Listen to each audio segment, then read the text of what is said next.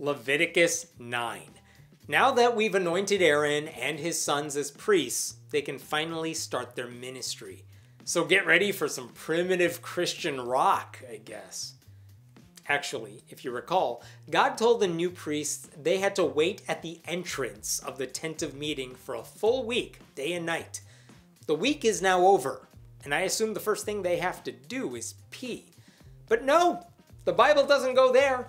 Instead, we find out that God is still fixated on torturing innocent animals. On the eighth day, Moses summoned Aaron and his sons and the elders of Israel. He said to Aaron, Take a bull calf for your sin offering and a ram for your burnt offering, both without defect, and present them before the Lord. Then say to the Israelites, Take a male goat for a sin offering, a calf and a lamb, both a year old and without defect, for a burnt offering, and an ox and a ram for a fellowship offering to sacrifice before the Lord, together with a grain offering mixed with olive oil. For today the Lord will appear to you. Did you hear that detail? Don't just take animals to kill, take perfect baby animals, as if they are juicier or something. In case you are keeping track, and I know you are, that's a bull calf and a male goat for sin offerings, a ram, a baby calf, and a baby lamb for burnt offerings, and an ox and a ram for a fellowship offering, and bread for the hell of it. And if you don't do all of that, God wants nothing to do with you. Good thing we have consecrated priests now to do the murders. They took the things Moses commanded to the front of the tent of meeting, and the entire assembly came near and stood before the Lord. Then Moses said, This is what the Lord has commanded you to do, so that the glory of the Lord may appear to you. We know. Jesus, we know. We weren't listening for fun. We listened because we had to. Moses said to Aaron, Come to the altar and sacrifice your sin offering and your burnt offering, and make atonement for yourself and the people. Sacrifice the offering that is for the people, and make atonement for them, as the Lord has commanded. Torture the animals, is what he's saying. Just say that. Don't try to hide it. So Aaron came to the altar and slaughtered the calf as a sin offering for himself. His sons brought the blood to him, and he dipped his finger into the blood and put it on the horns of the altar. The rest of the blood he poured out at the base of the altar. On the altar he burned the fat, the kidneys, and the long lobe of the liver from the sin offering, as the Lord commanded Moses. The flesh and the hide he burned up outside the camp. Then he slaughtered the burnt offering. His sons handed him the blood, and he splashed it against the sides of the altar. They handed him the burnt offering piece by piece, including the head, and he burned them on the altar.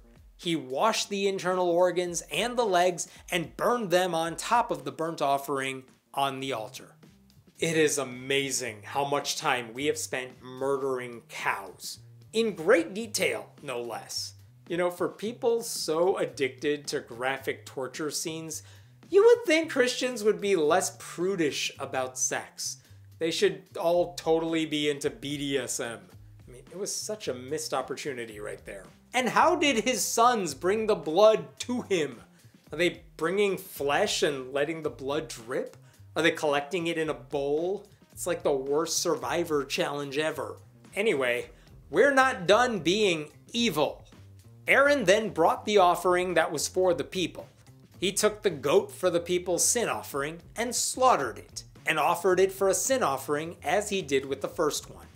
He brought the burnt offering and offered it in the prescribed way. He also brought the grain offering, took a handful of it, and burned it on the altar in addition to the morning's burnt offering. Glad they just squeezed the grain in there, just to break up the monotony of animal sacrifice. Speaking of which, he slaughtered the ox and the ram as the fellowship offering for the people. His sons handed him the blood, and he splashed it against the sides of the altar. But the fat portions of the ox and the ram, the fat tail, the layer of fat, the kidneys, and the long lobe of the liver, these they laid on the breasts. And then Aaron burned the fat on the altar. Aaron waved the breasts and the right thigh before the Lord as a wave offering as Moses commanded. Oh, good. Back to waving the breasts. Honestly, I thought that would be more enjoyable, but it is just thrown into the middle of a giant, gory death scene, so I am just not feeling it. Then Aaron lifted his hands toward the people and blessed them. And having sacrificed the sin offering, the burnt offering, and the fellowship offering, he stepped down. He better have done that at a distance, since his entire body must be covered in animal flesh. Moses and Aaron then went into the tent of meeting. When they came out, they blessed the people, and the glory of the Lord appeared to all the people. Fire came out from the presence of the Lord and consumed the burnt offering and the fat portions on the altar. And when all the people saw it, they shouted for joy and fell face down. God just binged all that food like Joey Chestnut on July 4th. And then fire came out of him, like a dragon. But for once in the Bible, this fire seems nice. No one's getting sacrificed. God just wants his food warmer or something. Why is everyone else excited about God's meal? They've got to be hungry.